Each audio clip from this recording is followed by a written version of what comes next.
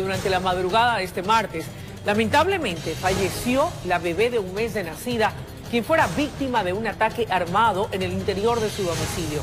El suceso se registró en el Guasmo Sur. El padre y la madre de la pequeña resultaron heridos.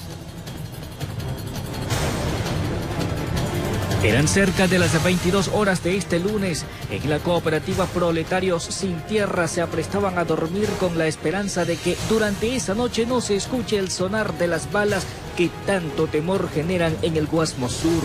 Sin embargo, la alegría y la esperanza les duró poco puesto que de un momento a otro retumbaron las detonaciones.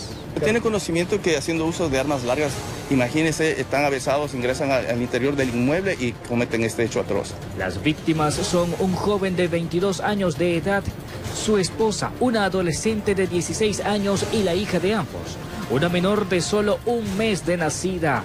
Inmediatamente fueron trasladados hasta una casa de salud donde permanecen, a excepción de la pequeña, quien lamentablemente falleció horas después mientras los galenos luchaban por salvar su existencia. Si están metidos en situaciones anómalas, no expongan a sus familias. Vayan, busquen otro lugar que puedan quizá, estar por un tiempo determinado a buen recaudo. Muchos de los hechos de violencia que se están dando aquí en Guayaquil es por esa situación.